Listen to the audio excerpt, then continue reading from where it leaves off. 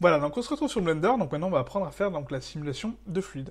Donc pour une simulation de fluide, on va prendre un exemple qui est très, euh, parlant, euh, l'exemple d'une baignoire. Voilà, donc une baignoire, vous avez donc la baignoire qui va donc recevoir l'eau que vous y mettez dedans, le robinet qui va l'émettre, et ensuite le ballon d'eau chaude qui va contenir en fait la, quantité d'eau que vous avez à votre disposition. Ok? Ah, Donc la simulation de fluide, c'est exactement pareil. Il faut donc une contenance, un émetteur, et, euh, un, domaine, en fait, donc un domaine, c'est euh, le ballon d'eau chaude. Ok? Donc on va commencer par créer donc, notre réceptacle, donc la baignoire en l'occurrence. Dans ce cas-là, on va prendre donc, un cube en verre qui va contenir l'eau qu'on va produire. Ok? Donc c'est parti. Donc le cube euh, d'origine nous va très très bien, hein. donc le cube qui est, qui est directement sur la scène de départ. On va juste l'ajuster voilà, au niveau du sol. Hop, voilà. Donc tac, je le surélève un petit peu. On va créer également un plan voilà, pour notre sol, donc là, on va le, donc appuyer sur S hein, pour le scale. On va le mettre donc à 10, voilà, au niveau de la taille, nickel. On passe en vue donc frontale avec 5 pour euh, donc recentrer notre image sur la vue de face pour justement bouger notre cube et l'aligner pile poil avec le sol. Voilà, comme ceci. Donc on zoome un petit peu. Hop, voilà. Ah, donc c'est pas obligé que ça soit parfait, mais après c'est juste pour que votre cube ait euh, des ombres en fait qui soient euh, propres en fait. Voilà. Parce que si on met le sol vraiment trop haut, ça donnera une ombre beaucoup, trop grande et du coup on aura vraiment l'impression qu'il est surélevé. Ok? Donc une fois que notre cube est placé et qu'on a créé notre sol, on va créer également une sphère euh, juste à côté en fait hein, de notre cube. Donc vous cliquez n'importe où avec le clic gauche, hein, peu importe. On appuie Shift A pour créer un nouvel objet on appuie sur sphère UV, voilà, pour créer une sphère, et on va placer cette sphère donc pile au centre de notre cube. Ah, donc juste ici, pas trop collé non plus, hein. on va le mettre euh, voilà, juste au-dessus, hop, voilà. Ah, ensuite on va modifier notre sphère donc en appuyant sur S, et du coup on va lui donner une valeur de 0.2. Voilà. 0.2 c'est la bonne taille pour ma part. Voilà. On recentre un petit peu notre sphère. Je vous expliquerai après pourquoi, hein, bien sûr. Voilà, on la rapproche un tout petit peu de notre cube. Voilà, c'est très bien. Et voilà. Donc un petit peu plus haute. Voilà, c'est parfait. Nickel. Ah, donc là, on a créé donc, notre récipient. On a créé une sphère encore, on ne sait pas pourquoi. Vous allez voir après. Et maintenant, on va créer un deuxième cube, beaucoup plus grand que le, cube principal qu'on a créé. Donc on appuie sur Shift A, Mesh, Cube, voilà. On appuie sur S pour Scale, et là on va lui donner une valeur de 5. Voilà, une grosse valeur. On va appuyer sur Z également pour passer en mode fil de fer. On va juste les arrêter de votre objet. Et du coup, ça nous permet de le replacer en fait vraiment proprement euh, sur, euh, sur tous les axes. Hein. Donc là, votre euh, gros cube, on va le placer donc au même niveau que votre cube de départ. Voilà, nickel. Hop. Donc c'est pas très grave s'il est un petit peu plus bas, hein. c'est pas très important. Voilà, donc là on vient de créer donc trois objets différents. Donc on vient de créer un petit cube, un grand cube et une sphère. Donc ça correspond aux trois objets que je vous ai parlé au départ. Donc le petit cube, ça va être notre baignoire. La sphère, ça va être le robinet. Et le grand cube, ça va être donc le ballon d'eau chaude. Voilà, qui contient votre eau. Ok? C'est un peu l'image de ça. Hein. Donc maintenant, il faut attribuer une fonction à tous ces objets pour leur dire bah, à quoi ils servent dans la, simulation. Parce que là, pour l'instant, c'est que des objets euh, objets seuls. Donc on va commencer par le conteneur, donc euh, la, baignoire si vous voulez. Donc on clique sur le petit cube, voilà. Ensuite vous avez un petit onglet ici, donc là on va agrandir la fenêtre euh, comme ça. Donc ensuite on a un petit onglet ici qui est données actives, donc on va cliquer dessus. Et là vous avez différents paramètres pour différentes simulations. Donc nous ce qui nous intéresse c'est la simulation de fluide. Donc on clique sur fluide. Donc là, dans type de fluide, on va sélectionner obstacle. Donc pourquoi obstacle? Parce qu'en fait, c'est une valeur en fait qui permet de, déterminer à cet objet-là qui va donc euh, entrer en interaction avec mon fluide. Donc soit c'est une pierre, dans ce cas-là, c'est euh, un obstacle à part entière, donc mon eau va l'éviter, parce que c'est un solide à part entière, ou soit c'est quelque chose qui va le contenir. Donc pour quelque chose qui contient votre fluide, il faut changer des paramètres ici, donc dans initialisation volume. Donc là vous êtes en volume, il faut mettre donc les deux. Pourquoi les deux? Parce qu'à la fois c'est un volume et une coque. Donc c'est-à-dire qu'il va contenir la coque, c'est il va contenir mon fluide, et le volume c'est qu'il va lui donner une certaine densité. Ok? Donc on met les deux, voilà. Et ensuite tous les, le, tous les autres réglages c'est bon. Hein. Voilà, glissement partiel, c'est très bien. Voilà, donc tout le, tout le reste on laisse tel quel. Ah, donc là, on va cliquer sur ma sphère. Donc en fait, pareil, ma sphère, il faut lui attribuer une fonction. Donc on rappuie sur fluide, type, et là on va mettre flux entrant. Voilà, pourquoi flux entrant? C'est euh, ça va créer du fluide en fait. Voilà, ils auraient pu euh, l'appeler autrement, mais euh, voilà, flux entrant, flux sortant. On a deux paramètres. Un flux sortant, ça va enlever de l'eau de votre simulation, et flux entrant, ça va en créer forcément. Ok? Donc flux entrant, c'est très bien. Type activé, donc ouais. Volume. Et là, en fait, on a des différentes valeurs, donc x, y, z. Donc là, il faut modifier ces valeurs pour notre simulation. Donc là, ce qu'on va lui donner, c'est une valeur fixe pour justement qu'il émette en fait donc euh, son, jet d'eau dans une direction bien bien particulière. Donc je m'explique. En fait, ici vous avez donc les axes qu'on connaît tous, hein, donc pour les, objets 3D, donc axe des Z, Y et X. Mon cube, là, à l'occurrence, il est sur l'axe des X. Hein, on est d'accord. Hein, il est à gauche de ma sphère. Il n'est est pas en haut, il n'est pas derrière, il n'est pas devant, il est vraiment sur la gauche. Donc ça veut dire que ça sera forcément une valeur en X que je vais lui donner, parce que je veux que mon eau tombe dans mon cube. Donc là, on a ma flèche qui part vers la droite, et mon cube est derrière la flèche. Donc c'est-à-dire que ce sera encore une fois forcément une valeur négative que je dois rentrer. Donc si vous ne comprenez pas ce que je dis, en fait, n'hésitez pas à mettre un petit commentaire dans la vidéo, euh, parce que voilà, j'ai peut-être tendance des fois à m'exprimer un peu mal. En fait, voilà, pour faire court, en fait, donc euh, voilà, un objet 3D, il y a trois axes forcément. Voilà, trois, trois dimensions, trois axes. Donc l'axe des hauteurs, et c'est de la largeur, euh, l'épaisseur, etc. Donc maintenant, on a l'axe des X. Donc là, en l'occurrence, mon objet est derrière ma flèche, puisque ma sphère, donc c'est mon point d'origine, mon cube est derrière ma flèche. Donc tout ce qui est derrière ma flèche, c'est en négatif, c'est des valeurs négatives. Donc là, on va mettre une valeur de moins 2. Quoique ma sphère, non, elle est bien proche. On va mettre 1.5, voilà. Une valeur de moins 1.5. Donc c'est-à-dire que ça va mettre, donc la vitesse de mon flux entrant va être de 1.5, ben, en négatif. Donc ça va expulser l'eau vers la gauche je pense que vous avez compris un peu le concept. Si vous n'avez pas compris, encore une fois, un commentaire, hein, n'hésitez pas. Ah, donc maintenant, donc, on a attribué une fonction à notre flux entrant, et maintenant il ne reste plus que notre domaine. Voilà, donc le domaine est ici. Donc le domaine, on va appuyer pareil sur fluide. Dans type, on va créer donc domaine. Donc pourquoi domaine? Donc on peut appeler ça contenance si vous voulez, hein, voilà, la contenance de quelque chose. Donc la contenance de notre fluide. Voilà. Donc le domaine donc, est vachement grand quand même. Bon, on va le laisser comme ça, hein, je pense que ça va être bon. Euh, donc là, il y a pas mal de réglages, comme vous pouvez le voir. Hein. Donc ici, on a donc type euh, domaine, donc ça c'est très bien.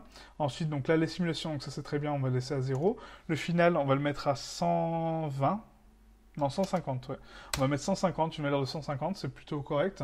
Après, si vous voulez faire vraiment une, simulation propre et vraiment jolie, il faut aller euh, aux alentours de 200. 180, 200, c'est déjà pas mal.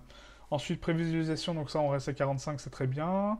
Euh, début, fin. Voilà, donc là, mon animation fait 4 secondes. Donc on va changer ça, on va mettre 2 secondes. Voilà. 4 secondes, c'est un peu trop. Euh, même si ça paraît très court, mais pour le rendu d'un tuto, ça sert à rien de mettre 4 secondes. Ok Donc si vous voulez une seconde sous Blender, ça vaut 25 images par seconde. Voilà, Blender est réglé comme ça euh, d'origine. Ça, on peut le modifier après, mais bon, moi j'aime bien laisser 25 images par seconde, ça me convient. Donc 25 images par seconde. Donc une seconde, ça veut dire que ça fait 25 images. Donc là, en l'occurrence, je veux faire un rendu de 2 secondes. si on regarde ici sur ma barre d'animation, là je suis à 250 images. Donc ça sert strictement à rien. Quoi. Mon rendu est à 50. Moi j'en ai 4 fois plus, 5 fois plus. Quoi. Donc ça sert à rien. Donc pour régler ça, vous avez ici donc le début d'animation, il est réglé sur 1. Et la fin à 250. Donc on va la remettre à 50. Voilà. Et là, mon animation fait 2 secondes tout simplement. C'est super simple. Ensuite, donc la vitesse d'animation, on va la laisser à 1. Euh, le cache, euh, ah oui, le cache très important aussi, hein, le cache euh, de Blender. En fait, il faut choisir un, un dossier vraiment à vous. Parce que d'habitude, il va dans, voilà, dans temp de Windows, etc. Comme d'habitude, hein, comme tous les, fichiers temporaires. Mais des fois, c'est, ça prend vraiment pas mal de place. Donc moi, j'ai créé un petit dossier ici, vous voyez, cache Blender que j'utilise pour les animations. Comme ça, je sais où il est, dès que j'ai fini mon animation, je peux le supprimer, comme ça, ça, évite de prendre la mémoire pour rien. ok? Parce qu'il y a des grosses simulations, des fois ça prend 1 giga, 2 giga, 3 giga, et euh, si vous mettez dans thème, bah, ça reste là, puis après vous oubliez de, supprimer, et du coup votre disque dur sera plein. ok? Donc là, c'est petite astuce pour, euh, voilà, pour économiser un peu, de, place. Donc on a choisi notre fichier de cache. Ensuite, on va ici donc dans limite de fluide euh, pour faire d'autres réglages. Donc ici, on a subdivision. Donc subdivision, qu'est-ce que c'est? Ça va donner beaucoup plus de, ouais, de réalisme à votre, à votre eau, dans le sens où ça va la diviser en plusieurs gouttelettes en fait. Voilà. C'est vraiment pour avoir un rendu beaucoup plus joli. Donc dans la subdivision, je vais en mettre à 2. On peut mettre à 4. Un 4, je pense que c'est suffisant pour une simulation réaliste. Ok. Donc ça c'est bon. Et ensuite dans particules de fluide, on va créer donc générer une particule. Voilà, une valeur de 1, ce qui permet de générer euh, pas mal de gouttelettes d'eau pour euh, vraiment avoir un rendu joli. Ok Tac tac tac, donc ça c'est bon. Monde, de, monde fluide, ça c'est pas la peine. Ok. Donc là on a réglé notre domaine. Donc tout, tout notre domaine est réglé. Donc on a notre réceptacle, l'émetteur et le domaine. Voilà, tout est prêt. Il manque juste maintenant euh, quelque chose que j'ai oublié, oui, très important. là, à l'occurrence, c'est une contenance que je veux faire. Donc la contenance... Ah, attendez, je vais juste décaler un petit peu mon cube. Ah, je suis désolé, hein, ça j'aurais dû le faire au départ, j'ai complètement oublié. Donc on va repasser donc en mode solide. Vous voyez, donc là mon cube en fait, à l'occurrence, c'est un cube solide en fait. Il peut pas recevoir de fluide parce que bah il n'y a pas d'entrée pour euh, aller dedans. Donc j'ai oublié de le modifier. Donc on repasse en mode solide donc en appuyant sur Z, hein, comme vous avez pu voir. Je passe en mode édition donc en appuyant sur Tab. Là je prends donc mon petit onglet face.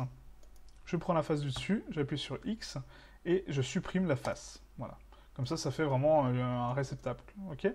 Maintenant, je vais repasser en mode objet. Voilà. Donc j'ai mon objet qui est sélectionné.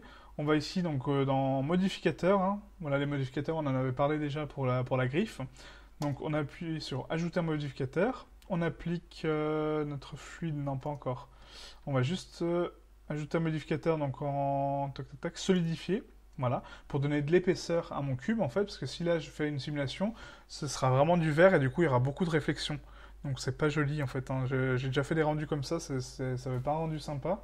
Donc là il faut vraiment mettre une épaisseur dans votre cube pour dire que c'est du verre épais en fait, pas que c'est du juste euh, un verre euh, basique quoi. Ok? Donc tac. Donc on a mis euh, une épaisseur de 1 cm, donc c'est très bien. Ok, tac tac tac, donc c'est tout bon. Donc on applique le modificateur de solidification. Voilà on repasse en mode fil de fer, donc Z. On replace mon cube où il était. Voilà, nickel. Hop. Et là, on applique donc mon fluide. Euh, ouais. Non, pas encore. On n'applique pas le fluide, hein, excusez-moi. On va pas appliquer le fluide. On va retourner sur le domaine. Donc, vous cliquez sur votre, votre domaine. On repasse donc ici dans la simulation de fluide. Donc, rappelez-vous, données actives hein, ici. Et là, on va précalculer voilà, notre animation. Donc, on appuie sur précalculer.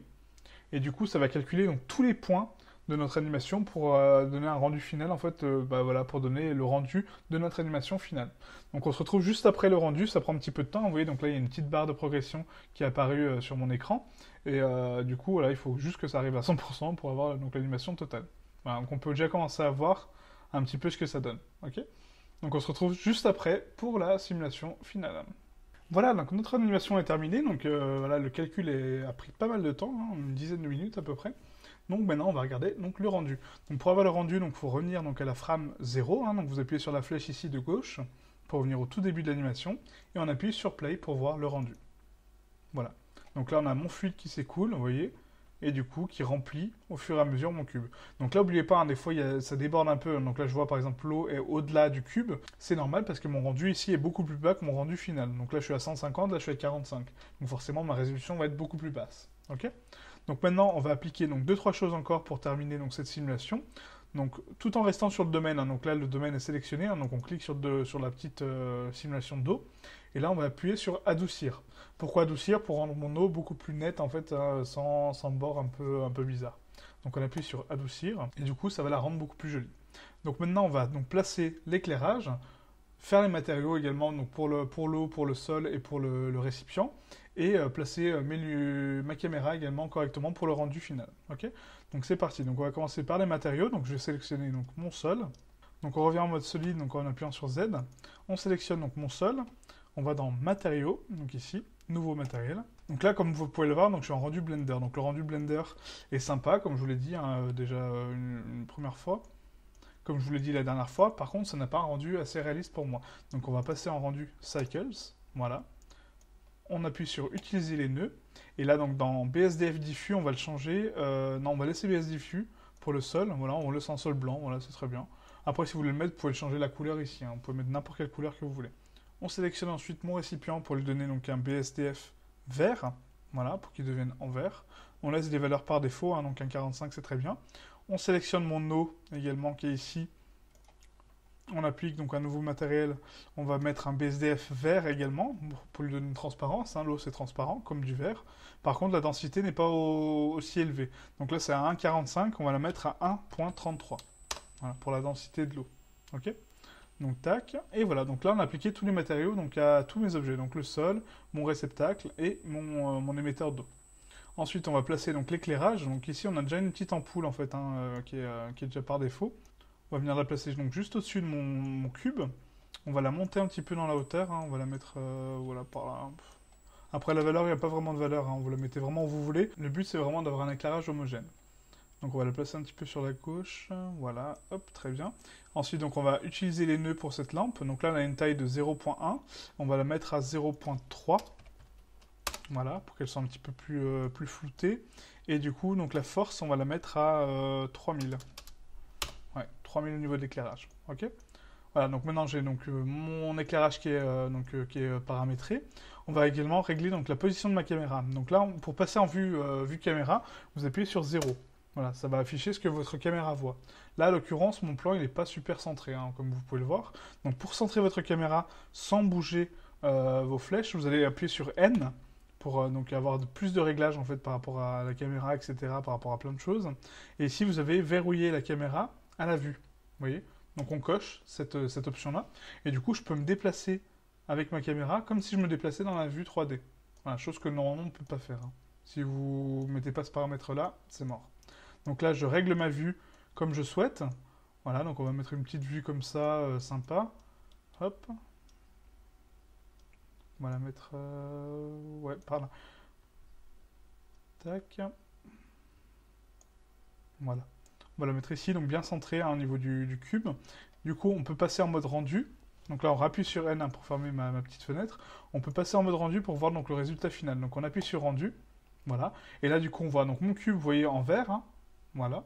On voit donc mon eau, qui est vraiment, vraiment propre, nickel et du coup on voit tout, mon rendu final. Donc là c'est pour rendre euh, donc l'animation, euh, une image, enfin un peu tout ce que vous voulez. Donc là en l'occurrence je vais pas rendre l'animation parce que ça prend énormément de temps pour l'animation, mais je vais, euh, faire le rendu d'une image en fait, une image seule. Donc là, pour rendre une image seule, le but c'est de choisir dans l'animation l'image que je trouve la plus jolie. Ah, donc là, en l'occurrence, je vais prendre celle-ci. Voilà quand donc l'eau en fait touche donc le cube en fait et se disperse. Hein, je trouve vraiment ça sympa. On peut zoomer hein, d'ailleurs. Hein. Voilà, si je fais comme ça. cette vue-là me convient, donc on voit le cube, en fait on voit le jet d'eau, etc. Donc c'est vraiment pas mal. Hop. Voilà, je dézoome un peu. On va juste la recentrer. Hop. Voilà, parfait. donc là, j'ai donc la vue que je souhaite avoir donc, pour le, rendu final. Et maintenant, on va aller ici dans les paramètres de rendu, donc là, sur le, petit appareil photo. Hein. on clique ici. Et là, donc, on a rendre. Donc, rendre, c'est une image. Ensuite, on a animation, pour rendre toute l'animation de votre, simulation. Et audio, bon, ça, c'est voilà, pour l'audio. Donc ensuite, ici, donc, dans rendre, euh, on va sélectionner le périphérique de rendu. On va mettre calcul GPU. Voilà, comme ça, ce sera beaucoup plus rapide. Ensuite, on va faire 2-3 réglages au niveau du rendu. Donc là, je suis en Full HD, donc 1920 par 1080. On va laisser à 50% hein, pour le, bien du, tutoriel. Je vais même la baisser un petit peu, parce que sinon, ça va prendre énormément de temps. Ah, donc voilà ma 25. Euh, les images par seconde, donc ça c'est bon. Tac, tac, tac. Ensuite, donc le, voilà, le type de photo, donc on va mettre JPEG. Voilà. Haute qualité, donc on va mettre à 100% la qualité en RGB. Ensuite, donc l'échantillonnage, donc ici c'est là où vous allez paramétrer donc la qualité finale de votre rendu. Donc en rendu final, on va mettre à 250. 250 au niveau du rendu. Ensuite, on a échantillonnage volumique, donc là c'est très bien. Donc tac tac tac, ça c'est bon. Chemin de lumière, donc euh, ouais. Donc là, les caustiques, on les laisse aussi. Hein. Les caustiques, c'est ce qui va donner toute la réflexion à votre eau et à votre, euh, à votre verre. Si vous les enlevez, il y aura forcément un rendu moins réaliste. Hein. Donc là, on va juste filtrer le brillant, on va le mettre à 0.5. Voilà, pour filtrer un petit peu la brillance de tout ça. Voilà. Et du coup, c'est tout bon. Voilà. Donc là, j'ai fait mes réglages ici. Je regarde encore hein, s'il n'y a pas d'autres réglages. Je me souviens pas à chaque fois les réglages que je fais. Exposition. Tac, performance. Non. Voilà, donc là c'est le seul réglage qu'on peut faire. Après, si vous avez une scène avec euh, donc très peu de, reflets, euh, etc., vous pouvez enlever les caustiques et du coup ça, voilà, ça aura un rendu beaucoup plus sympa quoi, et beaucoup plus rapide. On va appuyer ici sur rendre et du coup on, aura un aperçu justement de notre image finale. Et là, vous voyez que le rendu final n'a rien à voir avec le rendu qu'on peut voir en fait sur, euh, l'écran. Vous voyez Toutes les gouttes en fait qui ont été créées, ça n'a rien à voir en fait avec le rendu final. C'est pour ça qu'on ne peut pas s'apercevoir en fait en, prévisualisation le rendu qu'aura notre image euh, à la fin en fait. Parce que c'est tellement, tellement différent, ça n'a strictement rien à voir. Voilà. Il faut vraiment faire le rendu final pour s'en apercevoir. Donc si vous voulez avoir un rendu vraiment parfait, et qui, euh, bah, symbolise vraiment votre image finale, il faut augmenter le rendu de, prévisualisation et le mettre euh, bah, au même niveau que votre rendu final. Hein, donc c'est-à-dire que par exemple quand on a réglé 150 à la fin, il aurait fallu le mettre à 150 aussi en prévisualisation pour voir toutes les gouttes d'eau qui sont générées, etc. Ok? Vous voyez, comme le rendu est vraiment super sympa quoi. Donc après la vue, voilà, moi je l'ai choisi vraiment comme ça parce qu'on voit donc l'eau qui se reflète ici, on voit l'eau qui se remplit, on voit les gouttes qui dépassent, parce que voilà, c'est vraiment c'est un gros jet qui est puissant, c'est vraiment excellent quoi. Après, il faut juste jouer avec l'éclairage, etc. pour arriver au bon, bon niveau de rendu que vous voulez. Voilà. Donc là, le rendu est terminé. Donc vous voyez, donc on a encore pas mal de parasites. Ça, c'est normal parce que ma valeur de rendu n'est pas très élevée. Elle est uniquement à 250. J'aurais pu la mettre à 1000 ou bien plus. Euh, mais là, c'est largement suffisant. Hein, clairement, c'est voilà. Vraiment sympa. Et ici, en fait, euh, voilà, dans le rendu de, pourcentage, vous pouvez le mettre à 50, 100%. 100%, ça va vraiment avoir une netteté, mais vraiment parfaite. Et 25, euh, bah voilà, pour moi, c'est pour un tuto, c'est vraiment, enfin, c'est largement suffisant. Parce que sinon, ça prend énormément de temps. Ok? Voilà, donc c'en était tout pour ce tutoriel, donc j'espère que ça vous a plu. N'hésitez pas à lâcher un petit commentaire, un petit pouce bleu si vous avez aimé la vidéo, de vous abonner à la chaîne pour les prochains tutos. Le prochain tutoriel sera également sur Blender. On va apprendre à simuler donc euh, des textures réalistes en fait pour euh, créer un sol en fait de toutes pièces. Voilà. Donc j'espère que ça vous intéressera. J'espère que celui-ci aura pu vous aider pour vos prochains euh, projets. Euh, donc c'est assez basique hein, comme simulation. Hein. Je ferai certainement des simulations beaucoup plus complexes que ça à l'avenir. Mais euh, pour les tutos, voilà, c'est déjà un bon début. Ok? Donc merci d'avoir regardé la vidéo. À très bientôt. Ciao ciao.